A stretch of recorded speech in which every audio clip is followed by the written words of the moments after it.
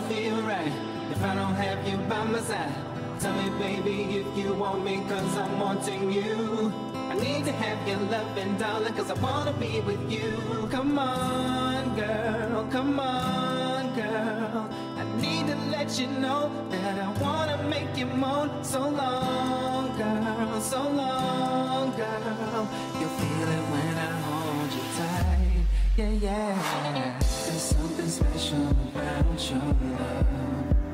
I think I'm ready to find There's something special about your love. I'm gonna make it mine. There's something special about your love. I think it's one of a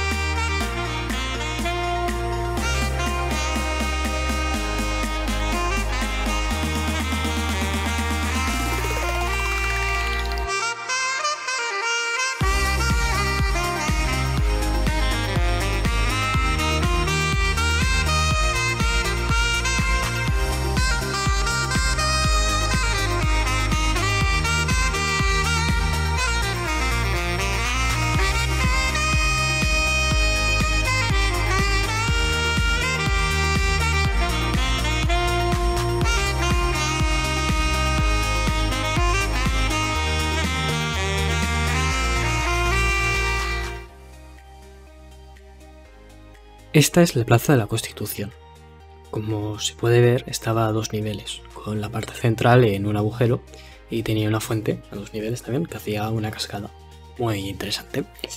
La cosa es que esto era antes, hace unos pocos años, taparon la parte inferior y la han dejado plana, que es muy bueno para la movilidad y que los abuelos no se caigan y se lastien, pero pierde ese elemento que la hacía diferente.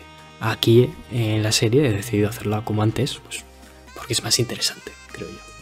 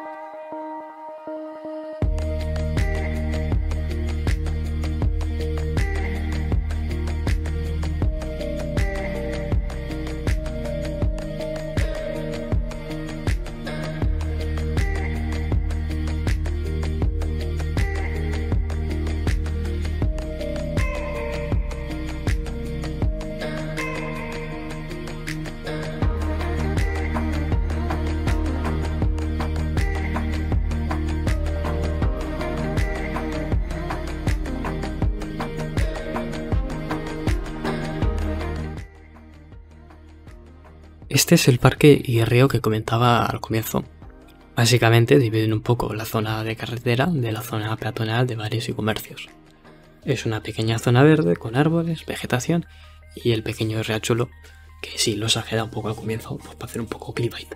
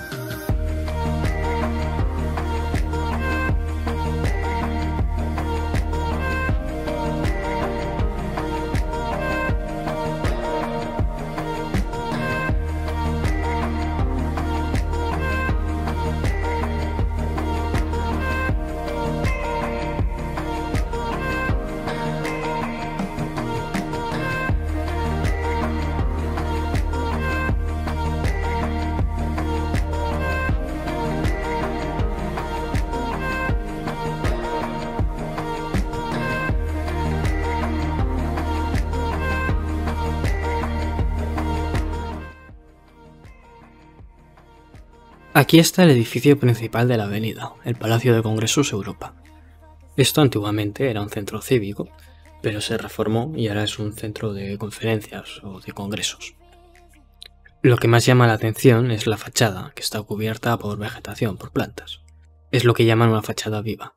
En el juego, el edificio es, está todo hecho por objetos procedurales, como de costumbre.